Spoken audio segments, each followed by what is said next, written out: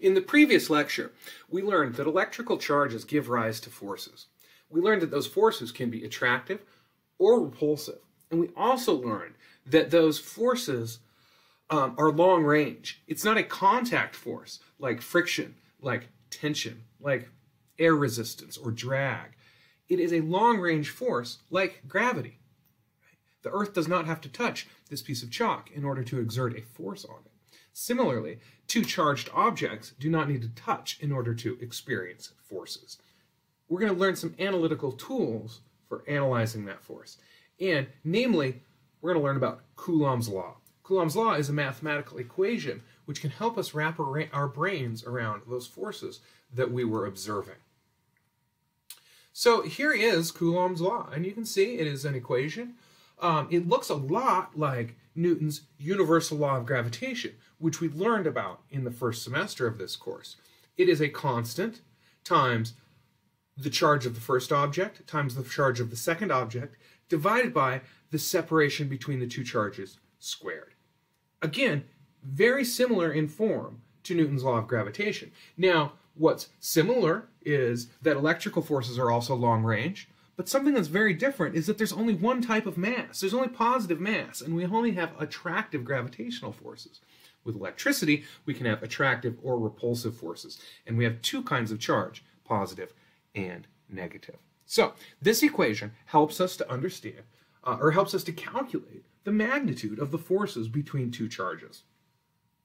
A couple of things to notice. Don't forget Newton's third law from way back in last semester. If charge 1 exerts a force on charge 2, then guess what? Charge 2 exerts the exact same force. Well, the exact same magnitude, opposite direction. Force on charge 1. So if 1 affects 2, then 2 affects 1.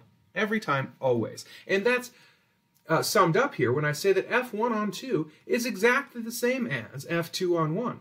The magnitude is exactly the same as F2 on 1. Um, and so, again, this is the equation for the magnitude of the electrical force. Here we see uh, two charges that are like charges will repel, whether they are positives or negatives, they'll repel, and opposite charges will attract. This k is just a constant, 8.99 times 10 to the ninth newtons times meters squared per coulomb squared. It just makes all the units work out. No big deal. Let's practice using this equation a little bit. So I have a series of clicker questions here. Um, obviously, we're not in class. We don't have our clickers with us. But I think you can still use them to great benefit if you pause the video, think about it, try and come up with an answer. If you have um, people you like to study with, you can talk to them about it, a peer group. That would be wonderful. Co try and come up with an answer and then proceed with the video and see if you were correct. Okay, so here we have a small positive charge placed at the black dot. In which case is the force on the small positive charge the largest? Well, why don't you pause the video, think about it, and I'll see you on the other side. Okay, so welcome back. Looking at this, we see that we have different distances, separations between the charges, and different charges. Let's go back and look at the equation and see if we can't wrap our brain around this. Now, a couple of things. One thing to note here is that r is not the radius of whatever round thing is in the problem. Students always see r, they want to call it the radius, and they just want to plug in whatever radius is given in the problem. We need to be careful. That will often be the case. However, in this case, r does not really mean radius. In this case, r means the separation between the two charges. So we see that the force goes down with increased separation, and the force goes up with increased charges. Okay, so this is our situation we've got here. And don't forget Coulomb's law, right? Coulomb's law says that the force is equal to K times Q1, Q2 over R squared. And I did drop my absolute value signs in this case because it tells us in the problem that all of our charges are positive. So we can just drop that absolute value sign and roll with it like this. So let's look at this. In situation A, we have a Q and an R, right? So we'll call that just sort of our standard situation. We'll call this F sub A. Now, notice in B, in situation B, we have twice the charge and twice the radius. twice the separation, I should say. So, so doubling the charge adds a 2 on the top. Doubling the separation adds a 2 squared, or a 4 on the bottom. And so the char the force in situation B is actually 1 half of the force in situation A. How about situation C? In situation C, we change the charge by doubling it, and we leave the radius the same, or excuse me, leave the separation the same. And so for situation C, we see that we have a force that is equal to 2 times Fa. And in situation D, we're doubling the separation, keeping the charge the same. Doubling the separation is like putting a 2 squared on the bottom. And so we end up with situation D gives us 1 fourth the force in A. Going back to our question, it asks, in which case is the force the largest? Looking here, oh, this one is twice of Fa. This is the largest force. And indeed, PowerPoint agrees. Okay. How about this one? All the charges in the diagrams below are equal magnitude. In each case, a small positive charge is placed at the blank dot. In which of the cases is the force on the charge to the right? Well, let's go ahead and, uh, well, why don't you think about what the direction of the force is on each of these, and then we'll talk about it. Okay, we're back. Now, uh, we've got, to remember, a positive charge at the dot. So, what we should do then is we need to think about the forces on the small positive charge located at the dot. We have to be careful here because there are three charges in each of these situations. So we have charges between these two charges, excuse me. So we have forces between these two particles, we have forces between these two, and we have forces between these two. But you know what? I didn't ask about the forces on this charge. I didn't ask about the forces on this charge. I only asked about the force on the charge at the black dot. So we have to be very careful. There's forces on all three particles in each of these situations, but I've only asked you about the forces on one of them specifically right here at the black dot. So let's go ahead and we'll let this guy be yellow and this one will be red. Okay, looking over here, we know that this is a positive charge and so opposites repel. The force on this dot right here then will be to the right. So we have to the right a force, and I will draw it that big. Now, we have an attractive force between the positive charge at the dot and the negative charge right here. Opposites attract. And so that force will be going to the left. Now, how does this magnitude compare to this? Well, the negative charge is closer than the positive charge. In fact, it's about half as far away. So I expect the magnitude of that force to be about four times as big. So our arrow here should go like something like that. That's interesting. How about here?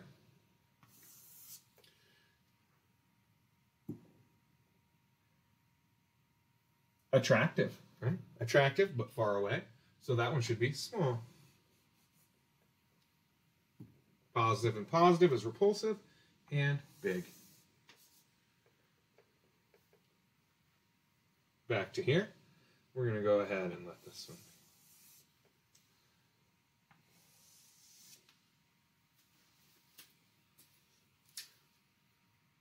coming over here, a positive and a positive, that repels. It is the close, so this is the long arrow. And we also have repulsion here. Oh gosh. Okay, so both of those are in the same direction. Here, we have attraction between these two, and it's close, so we have a big arrow. And we have attraction between these two, so we have a nice big arrow. So, what direction is the total force here? F net here. Oh, F net here is to the left. F net here to the right. F net here to the left. And what is the F net here? Well, that would be zero.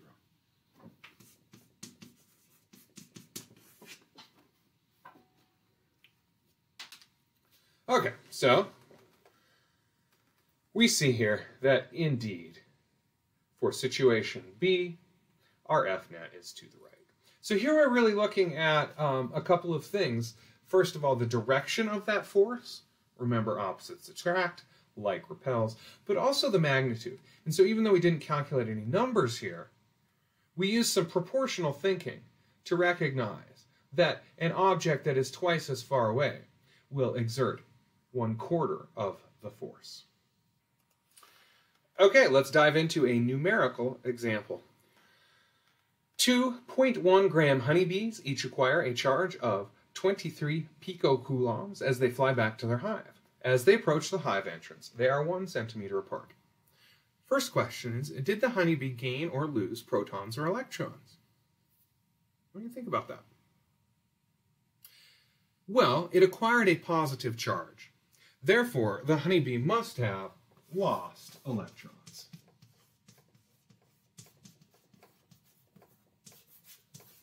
Remember, it is the electrons that move in general. It is not the protons that move, because the protons are tightly bound within the atomic nucleus. So this honeybee lost electrons. How many? Well, here we're going to use an equation that will come up again and again this semester. You used it last semester too. Um, and it's not specific to static electricity or to electrical charges. It's just in general. We can say the number of packages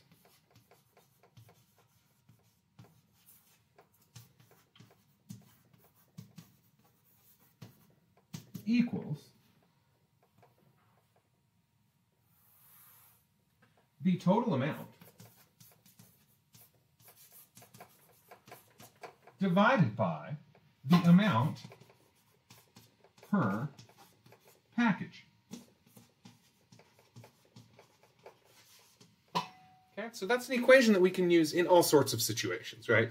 Um, if I have uh, 36 ounces of soda and each of my cans of soda holds 12 ounces, then I have 36 divided by 12 equals 3 cans of soda, right? So this would work for any type of situation here. Now, in this case, what we're talking about is the number of electrons. So this is another important part of our charge model. Charge is an intrinsic property of some types of matter. Electrons and protons being the two that we're going to talk about the most. Electrons and protons have exactly equal and exactly opposite charges. And the charge of an electron, as stated in the example here, is 1.6 times 10 to the negative 19th coulombs. An interesting thing is that that is what we call the fundamental charge. Because as far as we know, nowhere in the universe could you hand me a little package that had half of that charge in it. You couldn't do it. Because that's how big of a package charge comes in. So you can have two times that charge, or three times, or four, or 1478 times that charge, but you cannot have 1.4 times that charge, or one half of that charge, or one third of that charge. That's why we call it the fundamental charge. And as far as we know, every electron in the entire universe carries that charge. Every proton carries that exact same charge. Okay, so how many electrons? Well, this honeybee acquired a charge of 23 picocoulombs. So that is 23 times 10 to the negative 12th coulombs divided by the charge on an electron, 1.6 times 10 to the negative 19th coulombs. Now we have to be careful. That is the charge on a proton. Uh, I am using a positive value here. It's the absolute value of the charge on an electron. And so by moving this much charge, um, we gave the honeybee a positive charge, and we gave whatever it rubbed on the, uh, I suppose, the flower, a negative charge. At any rate, this is how many electrons were transferred, and then we run our calculator, and we get 1.4 times 10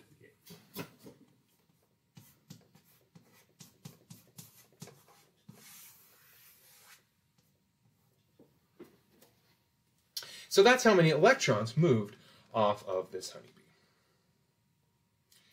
What is the magnitude of the repulsive force between the two bees? Let me clear a little room on the board. Be right back.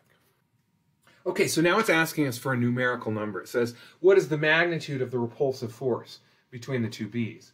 Well, let's go ahead and write some information down. We know that the charge on each bee is 23 picocoulombs. So that's 23 times 10 to the negative 12 coulombs. Um, we also know that they are one centimeter apart. And so that means that R is 0.01 meters. So that's really the information that we need.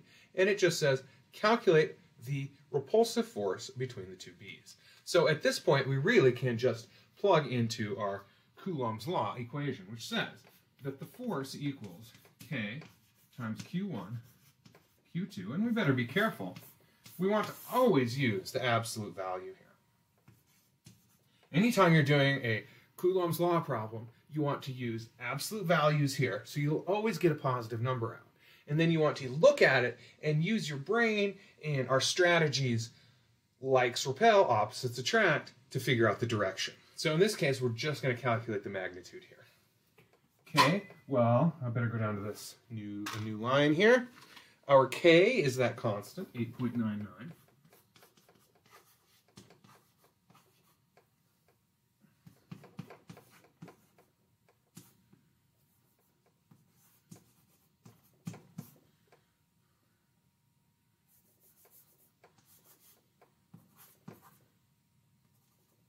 then we're going to multiply it by these charges, which are 23 picocoulombs. So that's 23 times 10 to the negative 12 coulombs. We're going to multiply another one of those on here. Uh, now, since these are both identical, I'm just going to write that as squared. And we're going to divide by 0.01 meters squared. And I'm going to come up with a number, and that number is from my calculator. 4.78 times 10 to the negative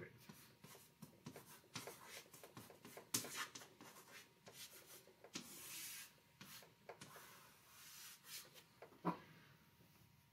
Okay, so that is uh, indeed a pretty small number. It says, how does this compare with their weight? Um, it says we got a 0.1 gram honeybee. So what is the weight of a 0.1 gram honeybee?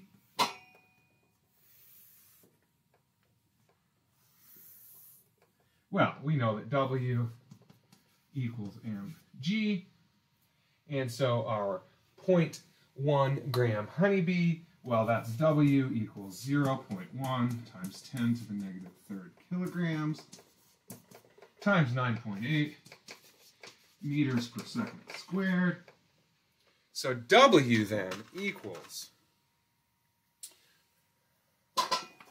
0 0.00098.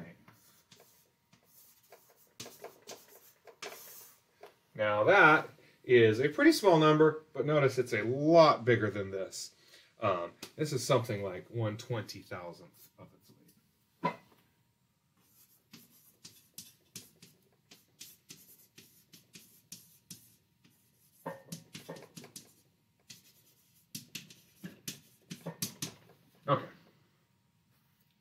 about one twenty thousandth of its weight.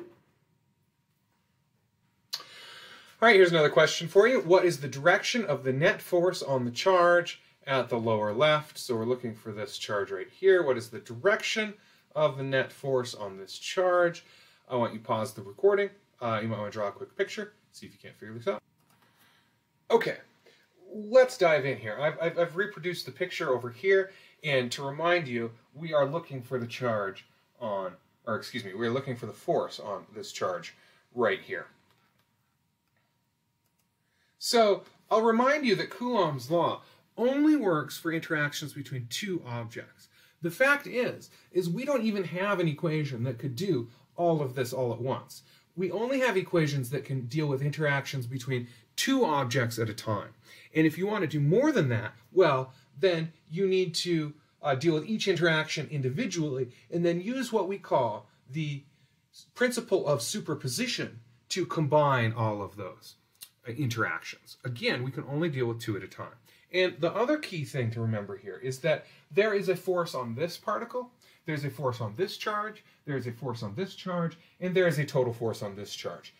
I only asked you in this problem about one of those. I only asked you about the force on this charge. So we're going to not worry about the forces on these other charges, though they do exist, and in another problem, I might ask you about them. So let's just go through here and see what are the directions of the vectors for each of these forces. So for force number one, which is the interaction between this charge here and charge number one, they are like charges, like charges repel, so F1 must be something like this. Um, let's jump over here to F3. Again, like charges repel, F3 must be pointed over here. For this one, it does have twice the charge, but it's a little bit farther away. It turns out it's the square root of 2 farther away. If I put a square root of 2 on the bottom here, square root of 2 squared is 2. The 2 on the top from doubling the charge cancels the 2 on the bottom. We end up with actually the same magnitude in this direction. So there's our F2. Well, we can see now that the resultant of these three vectors must be in that direction. So we're going back to the PowerPoint. Indeed, we see that it is in that direction. One last example, uh, specifically to Coulomb's law here. And this is what is the direction of the net force on the charge at the top. So we're looking for the direction on of the force on this charge right here. Well, once again, Coulomb's law only allows us to deal with interactions between pairs. So we're going to have to deal with this pair first, and then this pair, and then we'll find the resultant vector. If we call this charge 1 and this charge 2, then we see that F1 is repulsive, and it's along a line here. F1 must look like that we see that the interaction between these two is attractive because they are opposites. So an attractive force must look something like that. Now we can use the parallelogram rule. You could also, of course, do tip to tail. We can use the parallelogram rule to see that the net force here is in that direction. So, going back to the PowerPoint, indeed, we see that it is in that direction.